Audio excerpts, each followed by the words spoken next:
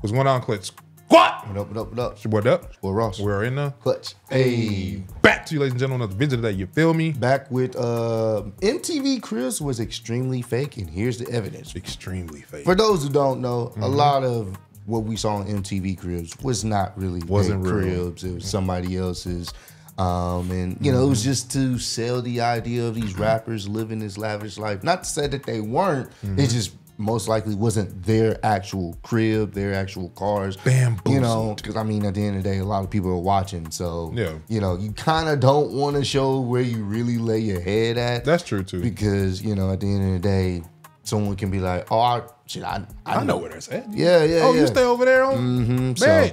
and not to say that you know they didn't have maybe show some parts of their place or maybe show some of their collection of cars and or whatnot, but even some of them probably didn't have it like that. And maybe the the the record label was like, "Hey, we're gonna put you on MTV Cribs, make it seem like boom, boom, boom, boom, boom." It's all optics illusion. Hey, flexing on somebody else's dime is what we call it. But Yep, yep, yep. We finna check this out right now. Make sure y'all want those likes, subscribe, and let's get into this bad boy. Yeah. 50 Cent's. Ferraris, they were rented. Robbie Williams' castle home, it belonged to someone else. See? MTV Cribs wasn't exactly legit, and we said that that was my house. Oh, that wasn't your house. No, it's all lies. and nothing Yep, shows this all better than the episode with Ja Rule. He flexed his five bedroom mansion on Star Island in Miami, where he talked about living beside other famous celebrities. The house was so familiar that Ja Rule named each area, calling his courtyard the Open Paradise, which was patrolled by his guard dog Cookie.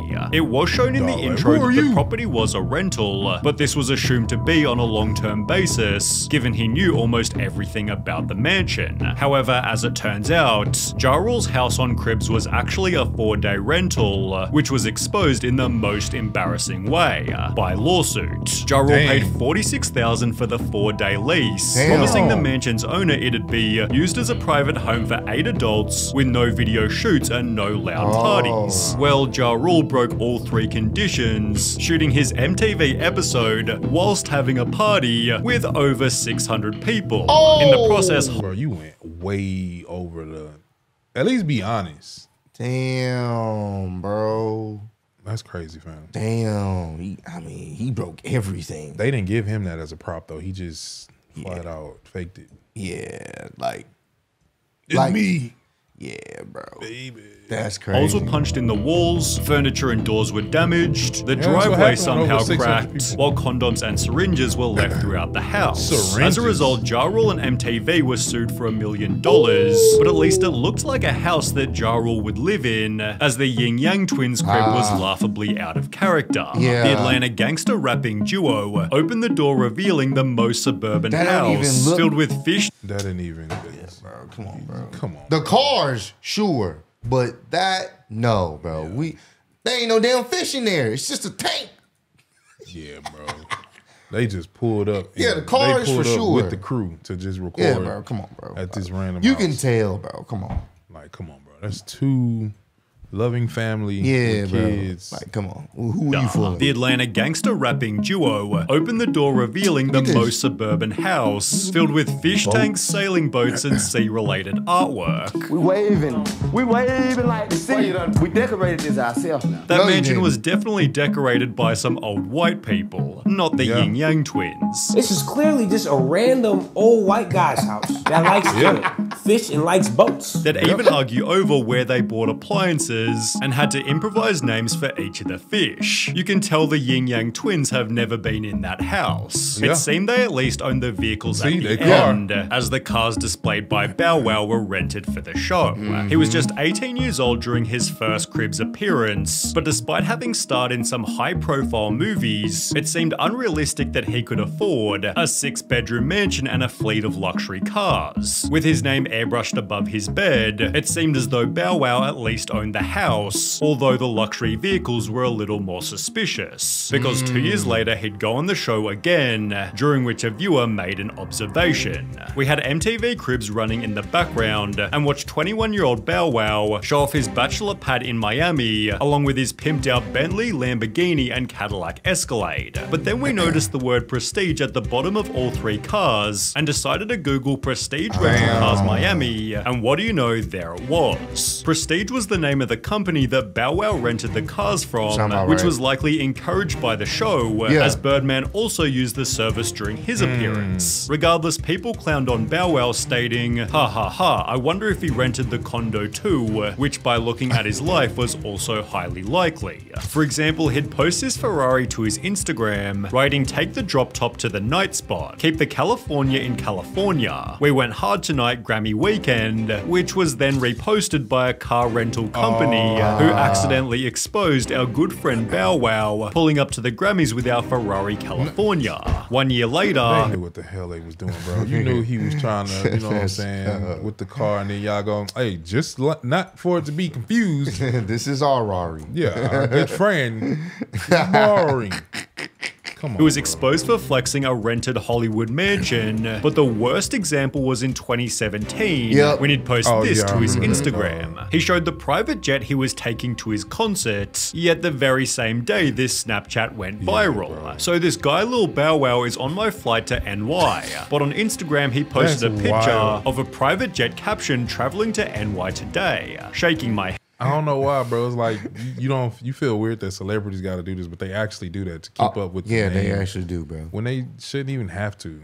Like them PJs are expensive. Hell yeah, bro. That shit. I mean, that shit's hella expensive. A lot of times, the label's paying for that shit, Bounce with me came out how long ago? Like and I'm pretty sure he was not getting paid like that his then. his, uh, his royalties like he should have. You know, I mean, they were they were eating off of Bow Wow in the sense of oh. they were taking probably majority of that cut for sure, No, bro. And he was a minor, so yeah, bro, they was taking a lot of that money that he made. I still wouldn't have posted. Like that's bold. Like you know you finna get on a commercial flight. I wouldn't post that. Like people, you just never know who's where. And the the, the dude that did that that took a picture and he he a hater, bro. That's some hating move right there. head. Turns out Bow Wow's picture of his private jet had been taken from a limo company's website, prompting people to dig even deeper, discovering he'd done this on more than one occasion. Ah, it seems his MTV Cribs episode led to their years and years of faking luxury, but as mentioned in Bow Wow's expose, 50 Cent had done a similar thing. 50 Cent's episode was the definition of excess. He showed his 19 bedroom, 35 bathroom mansion, which included a squash court, movie theater, recording It's a little studio, court. and its very own nightclub. Hey! Equally impressive was his car collection, which included four different rare collectible Ferraris, leading him to state, I know you ain't see these before when you was watching Cribs because everybody ain't got these. Yet it seems 50 Cent didn't have them either.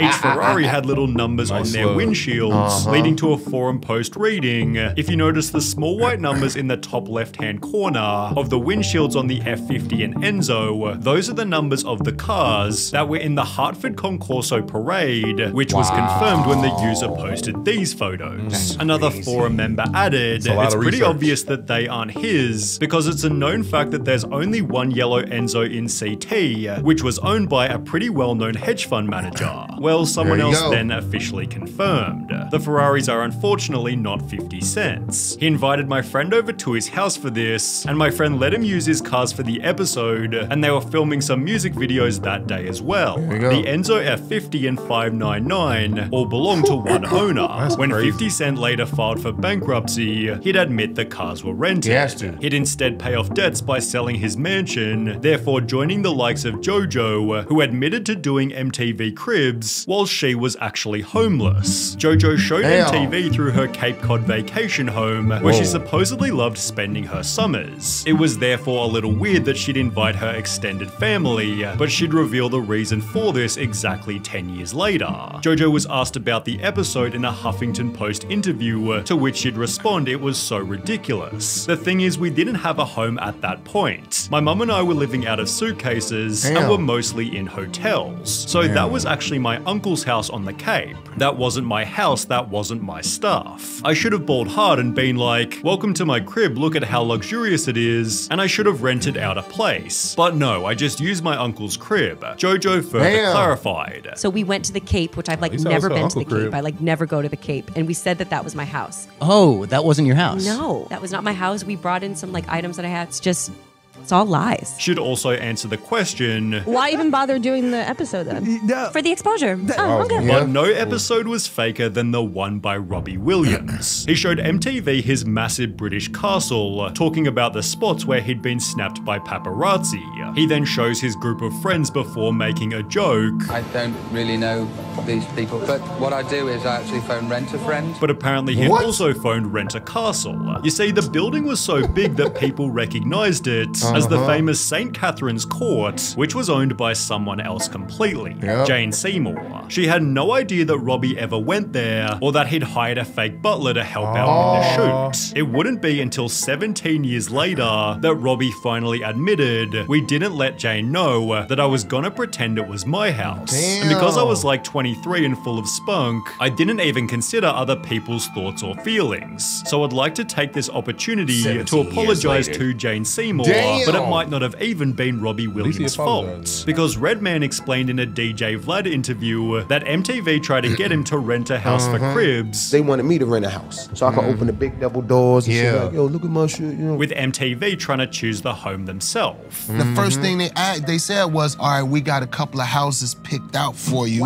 And I was like, "Oh, okay." Well, Redman simply refused, And I said, you know what? No, I don't want to rent a house. I want y'all to come to my house. They accidentally did. making the show's most relatable Yep. episode. Yep. He brought Yeah, MTV yeah, Cribs to his two-bedroom yeah, dog. apartment where he Dog, This this is one of my nigga, favorite ones. I ain't know what was happening. But this shit was so fucking funny, but Hilarious, real. bro. He kept it a hundred. That's this is why one of my favorite episodes because he kept it a hundred. And, real, and they doing all the effects like it's a lavish house, but it's just this nigga too bad. And for him, it works. Yeah. And this is why I appreciate what he did because he could have easily rented out something that they picked out to fake it to make it, but he kept it true to 100, himself, bro. And look look at it now. Like it makes it makes him look even better now because he was always authentic about what he actually had. This, bro, that nigga is ironing, ironing On on the the, floor. floor. bro. If you know anything that about ain't it, hood. bro, You don't got no ironing board. The floor is your ironing board. I can appreciate. This is one of my favorite. ironed his shirts on the floor and flexed his frozen fish fillets. Redman's recording studio was just a messy bedroom, oh, whilst the rest of his house was in such disarray, you could barely notice his cousin sleeping on the ground.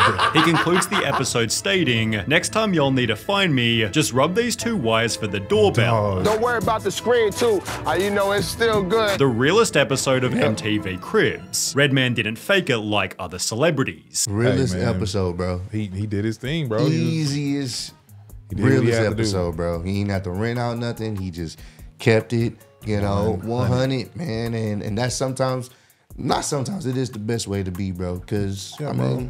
Things backfire, and then sure. if you able to just at least lean on authenticity, bro, you straight. You Yeah. always gonna be straight, no matter what. fucking love that episode. But yeah, bro, it was. It was for sure. Let us know y'all favorite episode from MTV Cribs because um, I did think the 50 Cent one was dope. Bow Wow Mm-hmm. one was dope because we were young around that time too. So just seeing like the basketball courts and all kind of stuff. I'm Mm-hmm. trying to think who who else had a, a lot a real dope one. Um, that I was like, damn, I want to live there. It, it just made you dream about getting into one of those homes. Mm-hmm. Yeah. But they weren't in them either. So Yeah, they weren't. crazy find out. See what happened? See, we be Yeah. chasing. Yeah. You know what I'm saying? They weren't even there, bro. They weren't even there, You don't even be chasing real stuff. Mm-hmm. Think about that. Think about that. There's a lesson in that. You know, come up with a quote, bam. But nah, man.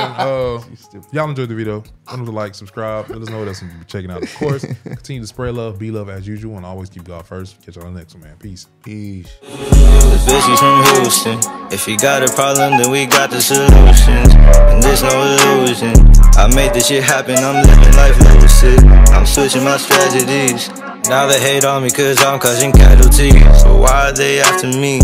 Deep inside, they know they can't handle half of me.